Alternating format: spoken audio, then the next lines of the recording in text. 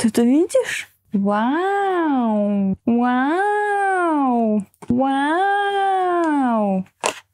Vau! Chunki asosiy ekran ko'p zaryadka yeydi. Mana bu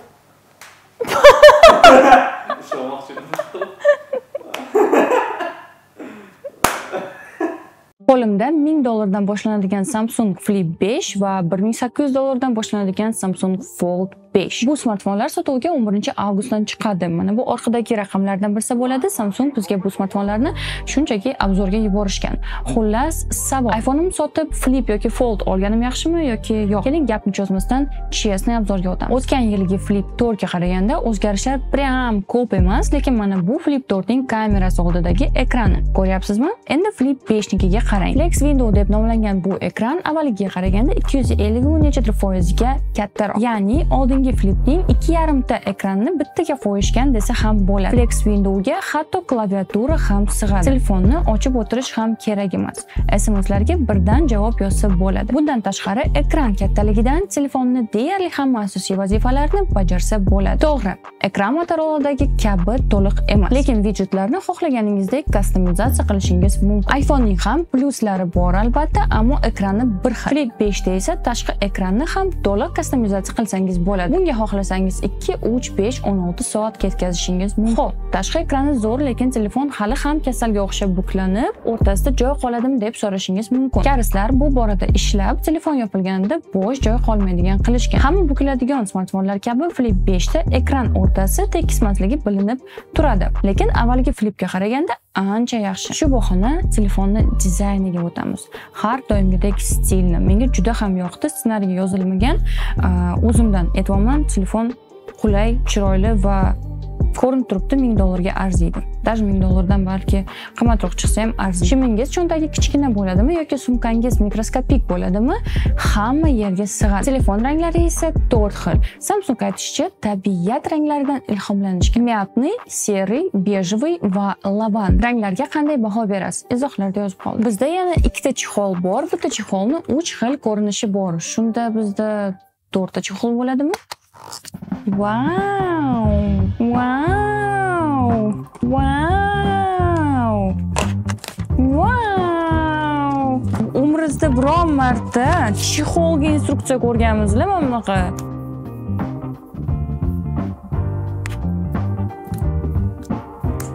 Zo'rmi? Стильно и кайф.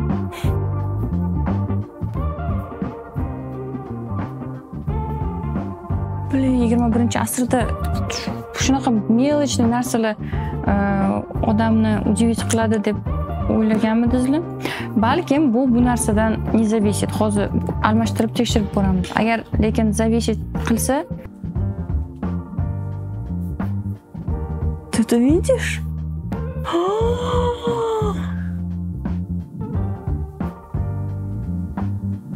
Chexol bomba. Hozirgi upgradelarni aytib o'tganimda flipda rosa katta o'zgarishlar bo'lib ketibdiyu deyishingiz mumkin lekin o'zgarmagan joylari ham bor. Masalan kameralar avvalgidek ikkita. Asosiy kamera ham 12 megapiksel ultra wide kamera ham 12 megapiksel. Videoni 4k 60 fps oladi. Kameralarni o'zi o'zgarmagan bo'lsa ham algoritmlarni kuchaytirishgan. Tashqi katta ekran orqali ko'p so'zlamalarni o'zgartirsa bo'ladi. Videoni yoqqandan keyin qayerda harakatlanmang sizni doim kadrda ushlaydi. Selfi kamera esa 10 megapiksel megapiksel unga super clear lens qo'shilgan. Odatda frontal kameradagi rasmlar xirraroq chiqsa bu qo'shimcha yordamida aniqroq va tiniqroq chiqadi. Demak akkumulyator. Bu yerda akkumulyator 3700 mAh soat. Hozir hamma yerda kamida 5000 mAh bo'lganida bu ancha g'alati tuyulsa kerak. Lekin flex window orqali ko'p narsa qilish mumkinligini inobatga olsa zaryadka ko'pga yetishi mumkin. Chunki asosiy ekran ko'p zaryadka yeydi. Mana bu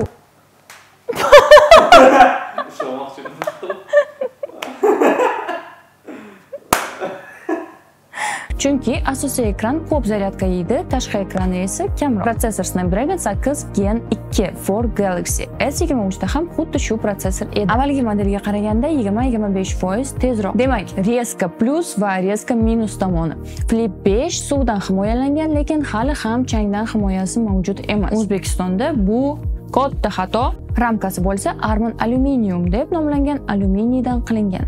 Bu borada ham uncha katta o'zgarishlar yo'q. Flip 5 ni hamma yerga sig'adigan olib yurishga qulay bo'ladigan smartfon desak fold 5 bu cho'ntakka sig'adigan mini kompyuter. Oldi tarafida uzun ekran bor ochsak katta 7.6 dyuym diagonalli ekran bo'ladi. Bu ekranda to'rtta dasturni ochib xuddi kompyuterga o'xshab ishlatsangiz bo'ladi. Fold 5 ham flip 5 ga o'xshagan to'liq yopiladigan bo'lgan. Ekran o'rtasi tekis. Bu hamma buklama fonlarning muammosi. Ammo fold 5 ni ekrani qanaqadir o'zgacha hissiyot beradi. Yana bitta qulay tarafi ekranni любой gradusda ochiq qoldirsangiz bo'ladi. Fold 5 ning ekran yorug'ligi 1750 nitgacha chiqqan. Avvalgi modellarda 1000 nit edi.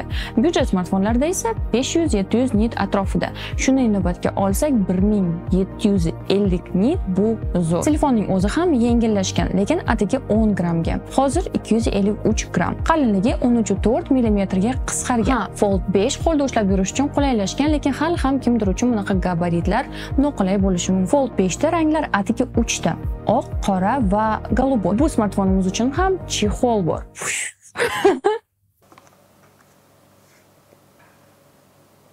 Demak chexol bilan mana bunday ko'rinishda bo'lar ekan Xo'p, endi telefonni qanday ishlashiga o'tsak. Bunda ham Snapdragon 8 Gen 2 for Galaxy ishlash tezligi 20-25% ga oshgan.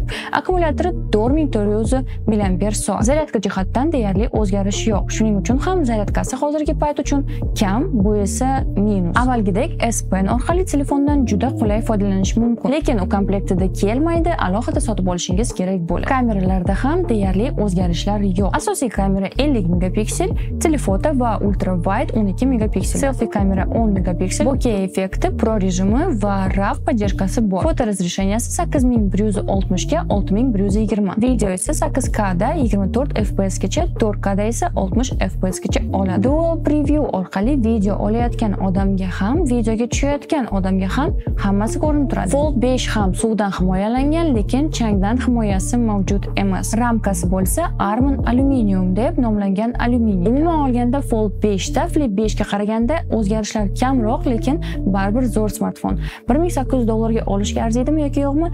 Izohlarda yozib qoldiring qo'limda yana Galaxy Tab S9 Ultra plansheti. Agar bunga ham obzor xohlasangiz olamiz. Xohlamasangiz olmaymiz.